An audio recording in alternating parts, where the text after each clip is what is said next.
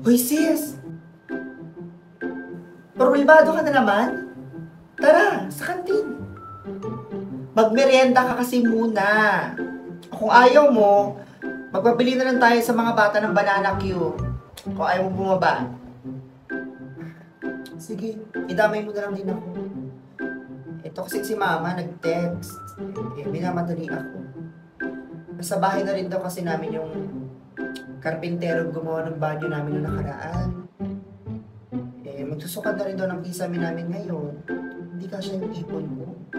Kulang pa. Ay, sakto! Sumabay ka na sa akin. Kasi nga, di ba, mag-negosyo na kami ng asawa ko. mag apply na ako sa Cebuana Lulier ng Kasibuana Teacher's Loan. Balita ko kasi, mas pinababa pa nila ang interest rate nila to 6.99%. Ay, hala sis! Sakto-sakto naman yan!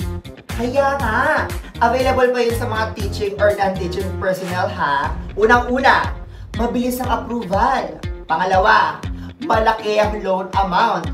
At pwedeng pwede mo pa siyang bayaran in 5 years. Bongga, di ba? Sige nga sis, tara, isama mo ko. Saan mo tayo pupunta para mag-apply? Available to sa Cebuana Lulier Bank branches sa Metro Manila, Batangas, Cavite, at Cebu. Pero doon na tayo sa Cavite para mas malapit sa atin. Oo. Ayun, buti naman. E di, ipapago ko na kay mama yung pizza na eh. Baka kaya na rin i-extend yung kusina namin. Total, malaki naman pala ang loan amount dyan sa Kasibuana Teacher's Loan. Correct!